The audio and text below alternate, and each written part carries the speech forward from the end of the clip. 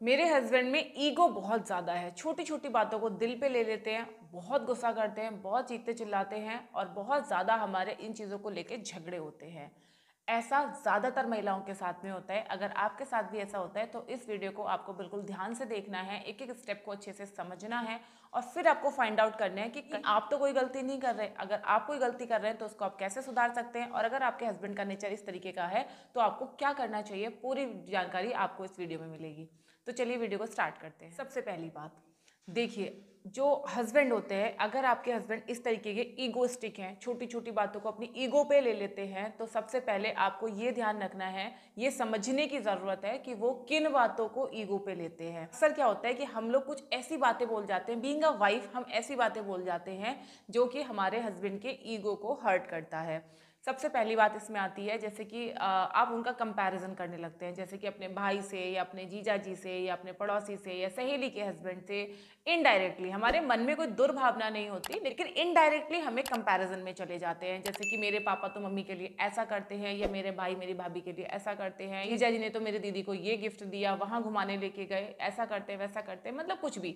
हम तो एक नॉर्मल वे में बता रहे होते हैं लेकिन कई बार हस्बैंड इसको अपनी ईगो पे ले लेते हैं उनको लगता है कि हम कंपेरिजन कर रहे हैं। अगर ऐसा होता है, इन चीज़ों के बाद आपके हस्बैंड का मूड ख़राब होता है, या आपको लगता है कि इसके बाद वो परेशान हो जाते हैं, ऐसा नहीं कि पता नहीं चलता, पता तो हमें भी चल जाता है।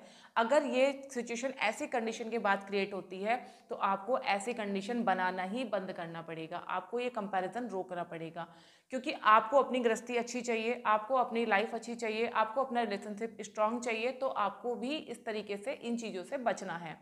पहली चीज़। अगर ये कंडीशन इस तरीके से क्रिएट होती है तो आपको ये कंडीशन क्रिएट होने से ही रोकना है, जो कि आप खुद कर सकते हैं।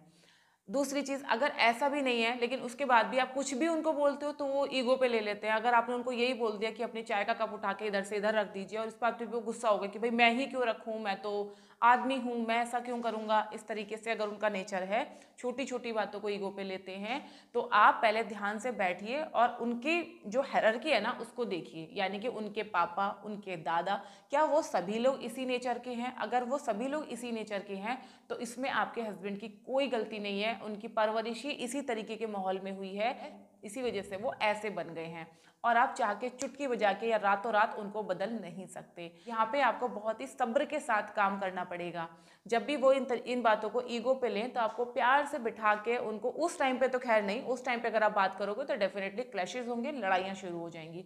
उस टाइम पे तो आपको चुप रह के उन चीज़ों को इग्नोर करना है। लेकिन बाद में जब वो एकदम काम होंगे शांत दिमाग में होंगे अच्छे मूड में होंगे तब आप उनसे ये बात का ज़िक्र छेड़ सकते हैं कि मैंने आपको सिर्फ़ एक चाय का कप इधर से इधर रखने के लिए कहा और आपने इतना गुस्सा कर दिया, जबकि अगर आप इसको रख देते तो मेरी थोड़ी हेल्प हो जाती और आपका तो कुछ नहीं जाता। आप तो उठ के जा ही रहते उस तरफ़। तो इस तरीके से आप प्यार से उनको समझाएँगे तो शायद उनको समझ में आ जाएगा। अगर समझ में नहीं आता तो अब ये आपका लक है कि आपकी शादी एक ऐसे इंसान से हुई है जिसकी परवरिश इसी तरीके के माहौल में हुई है और उसको बदला नहीं जा सकता। या तो टाइम के साथ साथ धीरे धीरे वो खुद बदलेंगे, नहीं तो आपको उनको ऐसे ही एक्सेप्ट करना पड़ेगा क्योंकि अब आप इसमें कुछ भी नहीं कर सकते हैं। अब यहाँ पे एक और तरह की कंडीशन बनती है, वो किस तरीके से बनती है कि मान लीजिए आपने कुछ कहा या आपके पड़ोसी ने, सहेली ने, मायके वालों ने, घर के किसी और मेंबर ने कुछ कहा, जिस बात पे आपके हस्बैंड को गुस्सा आ गया और आप दोनों के क्लैशेज हो गए। इस तरीके की बातें कैसे क्रिएट होती है? जैसे कि अच्छा तुम ये कर रहे हो, ये तो काम तो तुम्हारी वाइफ का है, उसको करना चाहिए था। जबकि तुम दोनों हस्बैंड वाइफ का तो अंडरस्टैंडिंग अच्छा है म्यूचुअल अंडरस्टैंडिंग से तुम लोग काम कर रहे हो बट किसी बाहर वाले ने फूक मार दिया कि नहीं, तुम क्यों कर रहे हो? ये काम तो तुम्हारी वाइफ को करना चाहिए। और बस हस्बैंड को ये बात दिमाग पर लगे कि हाँ ये तो मेरा काम नहीं है, मैं क्यों करूँगा? इसका काम है ये करेगी। लेकिन आप भी गुस्से में हो कि अरे दूसरे कहने से तुम बदल गए, तुम ऐसे कैसे कर सकते हो? मतलब तुम अपने गुस्से में आ गए और वो अपने ईगो में आ गए। अब जब दोनों के ईगो अपनी जगह पे स्ट्रांग हो गए और वो क्लैशेज होंगे तो फिर आपका रिलेशनशिप खराब हो जाएगा। जबकि गलती ना आपके हस्बैंड की है और ना आपकी है। गलती उस थर्ड पर्सन की है जो आप दोनों के बीच में कूदा। लेकिन इसकी वजह से क्या हुआ? दिक्कतें आप दोनों के बीच में क्रिएट हो गई। अगर कभी इस तरीके की सिचुएशन क्रिएट होती है, इस तरीके का ईगो दोनों का अगर आता है और दोनों का ईगो क्लैश करता है तो वहाँ पे आपको ठंडे दिमाग से शांत रह के सोचने की ज़रूरत है कि ये सिचुएशन क्यों क्रिएट हुई? ऑब्वियसली किसी थर्ड पर्सन की वजह से क्रिएट हुई है तो आपको उस थर्ड पर्सन को अपने बीच से निकाल देना है और फिर आराम से बैठ के इस मुद्दे पे बात करनी है कि क्या ये काम करने में आपको प्रॉब्लम हो रही थी? ऑब्वियसली नहीं हो रही थी, इसीलिए वो कर रहे थे। आपको कुछ फ़ायदा हो रहा था? ऑब्वियसली आपको एक सपोर्ट मिल रहा था। अब आप दोनों बैठ के सोचिए कि एक दूसरे का साथ देना सपोर्ट करना, ये आपके लिए ज़्यादा ज़रूरी है या बाहर वाले तीसरे इंसान की बात सुनना आपके लिए ज़्यादा ज़रूरी है? ऑब्वियसली जवाब आपको मिल जाएगा। इस तरीके से बैठ के शांति से अगर आप बातें करेंगे तो आपका रिलेशनशिप स्ट्रांग भी होगा, आप एक दूसरे का अच्छे से साथ भी दे पाएँगे और आप उनके ईगो को हैंडल भी कर पाएँगे। लेकिन आप उनके ईगो को शांत रह के हैंडल कर सकते हैं, कभी भी उनके ईगो के सामने अपने ईगो को रख के या बड़ा बन के आप उसको हैंडल नहीं कर सकते हैं। आई होप कि आपको मेरी बातें समझ में आ रही होंगी।